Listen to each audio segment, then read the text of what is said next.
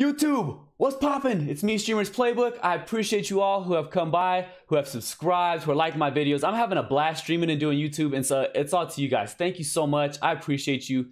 And if you're interested in streaming, and I, am coming out with two videos a week, how-tos, tips, tricks, all kinds of things. So hit the subscribe button if you're trying to learn more streaming tips, tricks, and how-tos. Go ahead. And if this video is helpful to you, please click the like button. Okay, I really appreciate it. Hitting those likes really helps push your video out there as a YouTube, as a YouTuber. Okay, so today I'm coming at you with a fantastic, magnificent, beautiful uh, video on how to suggest streamers on Twitch. So this is a great way to network, and I'll touch about I'll talk about how why it's a good reason to network or why it's a good way to network at the end of this video. So make sure to stick around. So first things first, let me show you how to suggest streamers on Twitch. It's super easy. So if you've probably seen before, if you go to someone's channel, so right now I'm on my channel, if you go to the home page and you scroll down, It says streamers playbook suggests these streamers. You got Tim the Tatman, you know, Swag, Bonsai Bro. Okay. So one way to do it, if you're already suggesting streamers, you want to change who you're suggesting, you would just click the edit streamers button. But if you're not already suggesting streamers, you have to set that up. In order to do that, you would go over here, click on this icon in the top right, and go down to your settings button. Okay, settings. I'm gonna go ahead and click it. And then now you're gonna go over to the channels and channel and videos tab, okay, right here. So go ahead and click that. Now we're gonna scroll all the way to the bottom and then you should have this, it should say my streamer shelf, all right? And so this is where you're gonna change your suggested streamers. So if I go ahead and click this edit button, you'll see I have, these are the list of streamers that I'm suggesting. So if I wanted to get rid of someone, you just hover over it and you would click this uh, trash can button, okay? So like that. Now if I want to search for channels to host, you just click that say I want to host uh, Cypher PK, right? Oops. So let me make sure that save. It did.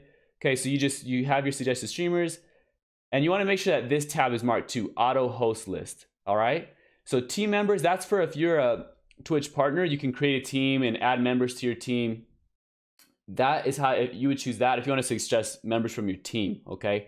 And if you don't want to suggest any streamers which is what i usually typically do you would just click that none button. And that little tab at the button i showed you at the bottom where it had all those suggested streamers it won't appear on your channel. But i'm going ahead and i'm going to click this button. Those are the streamers i put. Now you click save it's going to save. And now when i go back let me show you it is if i go back to my channel and i scroll down go to the home screen again i scroll down look at Streamers Playbook suggested streamers. We have Cypher PK Swag, Bonsai Bros, Eagle Okay. All those people. So that's how you would add your streamers.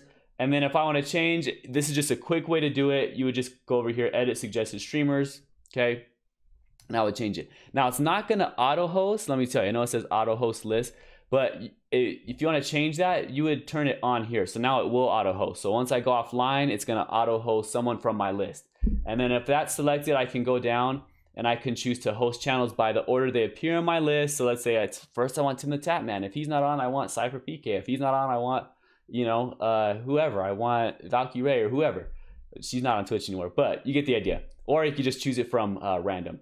Okay, so that's how you would change that. But I'm gonna turn this off.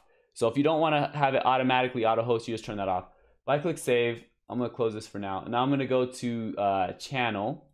Go ahead and click channel, and then Yes. So I'm gonna now tell you why this is such a cool feature, this suggested streamers thing. So it's a great way to network because if you have a group of friends that you stream with or you've met people on Twitch, it doesn't hurt to just say, hey, uh, it's like a billboard. Could you put me as your suggested streamer? I'll put you out there. Okay. So now anytime someone comes to your homepage, they're gonna say, oh, you know, this per- I like this streamer and they suggest swag or they suggest bonsai bros or whoever. I like that. I'm gonna check these people out. I've seen that a lot of times people who do like similar games. So let's say you do Warzone.